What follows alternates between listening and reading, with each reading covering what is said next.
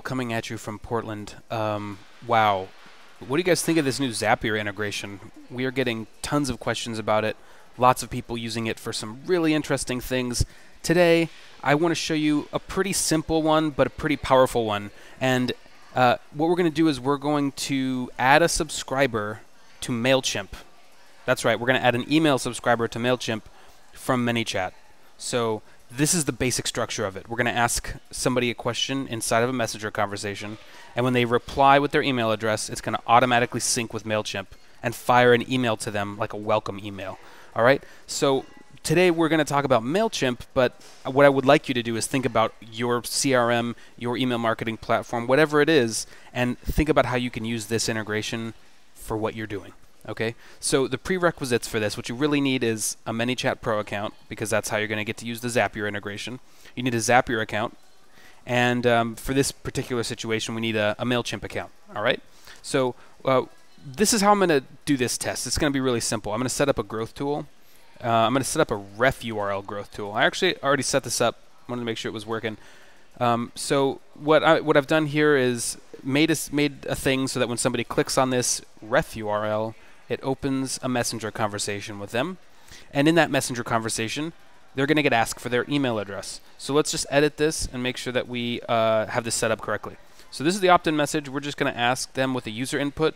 Another thing is, um, again, this is a pro feature. Need to have a pro account for this. Hey, first name. What's your best email address? All right. So we're going to make this an email reply type, and it's actually going to validate the the email field. So if somebody types in gibberish, it will um, ask them to correct it. So that's really neat. And you can also edit this retry message here. So this is something that we added uh, several weeks ago, but that's something that's really cool.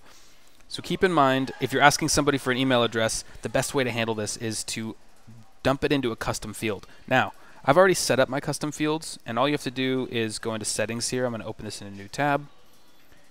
And go to your custom fields here and create a new custom field and call it email. If you don't already have that, I highly recommend you, you set that up. It's super simple. Um, but uh, you could just use plain text, by the way, for the type. But we've already we already have ours set up, so um, we're just going to uh, exit that window and we're going to keep going here. So when somebody responds to this, we need to think about where it's, it's going to go. Where's that information going to go? The first thing that needs to happen is we need to store it in a custom field. So think of that as just like a cell in a spreadsheet, except it's just in ManyChat. So we're going to hit email, and um, that should be good to go.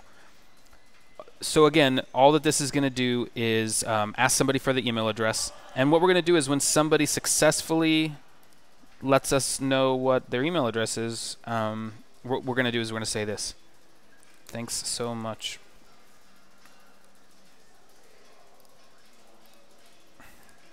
We just sent a welcome message to, and then you can actually put the email that they just put in right there. All right. See what I'm doing here? It's actually pretty cool. So again, this message won't fire until a valid email address gets put in. So if they don't put in a valid email address, they won't see this. We're going to publish this message. And what we are going to do is go over here to the growth tool itself. Make sure everything's saved, it's active. One of the first things that people do when they set up growth tools is uh, forget to activate them, and then they write to support asking why it's not working.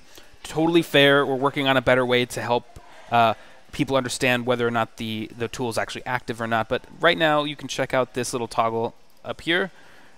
Right now, it's deactivated, and let's just go ahead and make sure it's activated. Okay, activated, saved. We're not going to add anybody to a sequence or anything. Um, and what we are going to do is go to the setup, and we are going to uh, grab this messenger ref URL. But but what I would like to do is create a custom ref parameter just so that I can keep track of what this is. So what I'm going to call this is, and we're going to save. Oh, look at that. Alphanumeric characters only. So it doesn't look like it wants to have a, space. So let's go ahead and put an underscore and see if that saves it. might have a little bit of a validation problem, so let's just refresh the page. Let's go back to the setup. Underscore. Let's see if this does it. Boom. Here we go. So this is all saved and activated. And uh, this is the URL that we want to grab. So just to recap, we have a growth tool. This is just for the test, by the way. We have a growth tool, which is asking somebody for their email address. When they reply, it's going to update their custom field called email, which we just set up. This is where things get really cool. Um, this is where I would recommend going into uh, your email marketing tool of choice. In this case, we're using MailChimp. And um, getting that welcome message set up. Okay, so what, what, what we're going to do is once this custom field updates, we're going to tell Zapier to send that email from ManyChat to MailChimp. So the thing is that we could set up the Zap right now, but if you don't have anything set up in MailChimp, they're not going to get a welcome message. So let's just go straight to MailChimp and set up, make sure that that welcome message is set up. I did set one up earlier today to test, but let's just go through how I set it up just in case, all right? So let's go to let's go to the welcome message. And all that I've done here for this particular test is I have it set to fire as soon as somebody is added to this list. So what we're going to hopefully be able to do is go into Zapier and create a rule that looks like this. When somebody puts their email address into ManyChat, add them to X list in MailChimp. Once they're added to this list, MailChimp will fire this welcome message. All right, it's pretty simple. MailChimp is a beautiful tool. It's wonderful to work with.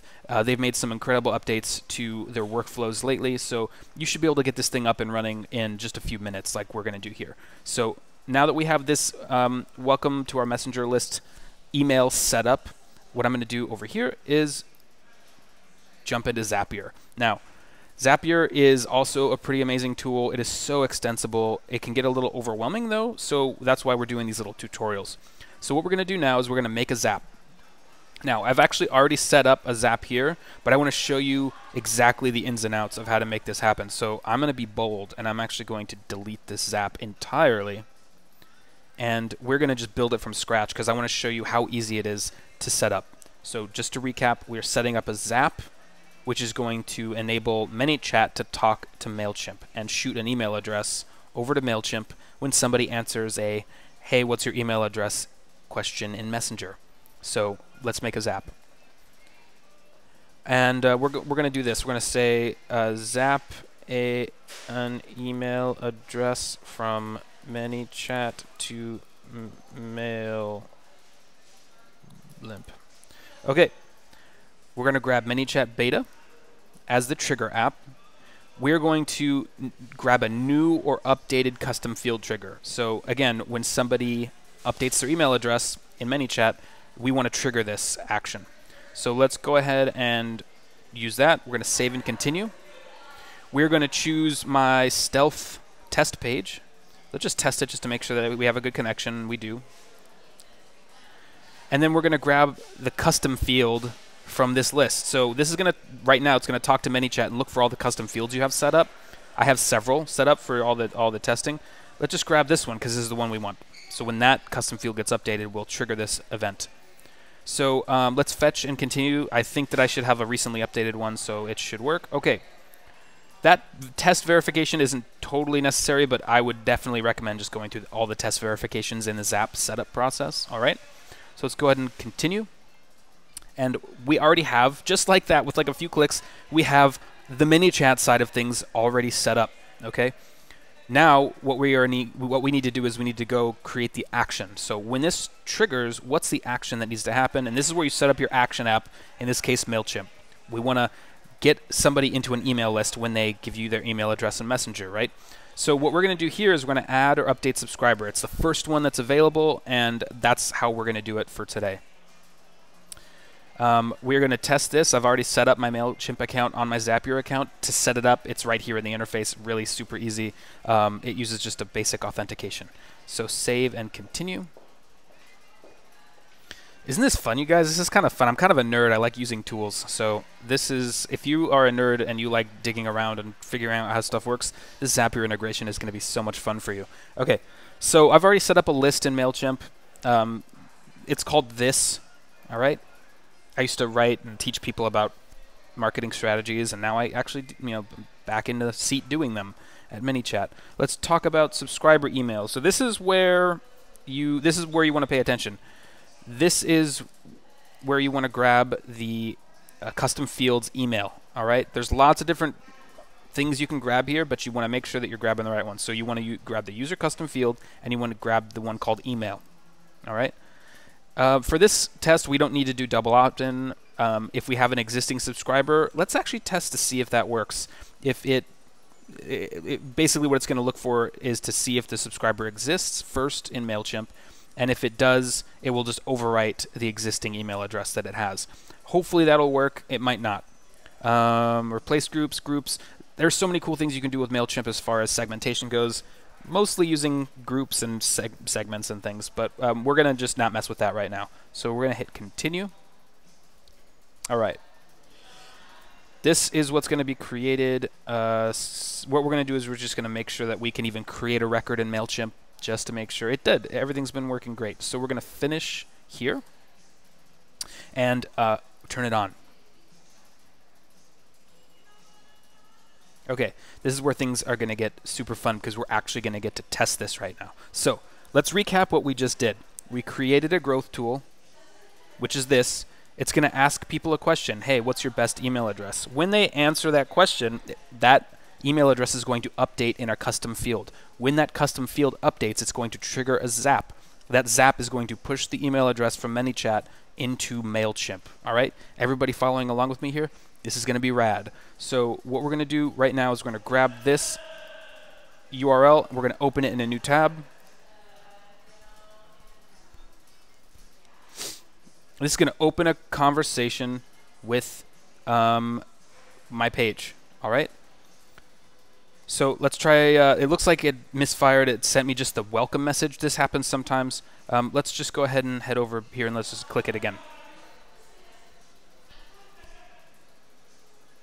Okay, no problem. Sent the uh, the um, the thingy. What we're gonna do is, what's your best email address? I'm gonna type back Dan at manychat.com. Looks like that growth tool is a little buggy. Remember that email? That, remember how we set it up so that it would not only send me back a quick like thanks for giving me your email address, but it would actually mirror back the email address that I gave it. That's pretty tight, right? So let's go back here and let's just basically what should happen now is the Zap should be processing. It should be sending that updated email field into Mailchimp. Now, I might this email address might already be subscribed to this to this list, and I'm not sure if Mailchimp would send it twice. But what we can do is um, go look in the subscribers here, or we can look to see if this is working by going back to the dashboard and see how many times this is fired. I think that there's a way to do that. So let's just grab this one. Um, um, um, um, um. Yeah, task history. Let's go look at that. Zap an email address from us. So actually, this should have just fired moments ago. We have a success. Let's check here. Data in, data out. Let's look at the data out. Look at that. So it did fire. Data in, uh, data in. It got the email address. That's really cool. Subscribed. All right. Cool. Um, okay, so I'm not getting the email address, email, the exact email yet, but I do know that data is flowing between these two things. This could just be, this could be a bug in Mailchimp. It's just not firing quickly, but we do see that the data did go into MailChimp, which is uh, much better than not. So uh, that's kind of how this works. Uh, it's really cool. Now, I'm going to show you something really cool because remember how we had that uh, Zap set up so that it would look for an existing subscriber and then change the record if it's a different answer?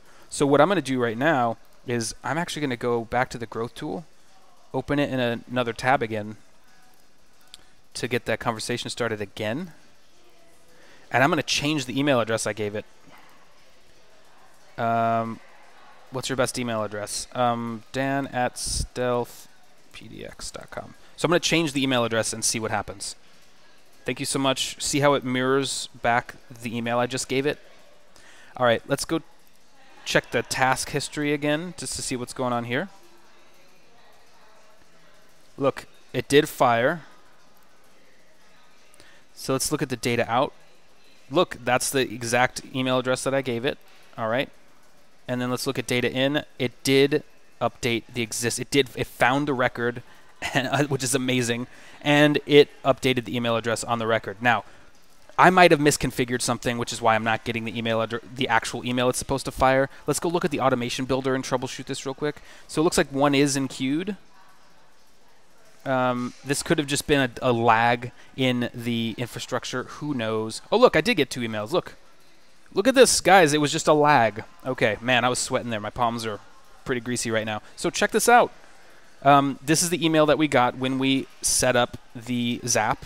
This is the email I had configured to fire. We literally ju- we just fired an email marketing message based on a response to a conversation in Messenger. That's all I wanted to say. I really hope you guys have fun with this hope this gets the wheels turning for you. Okay,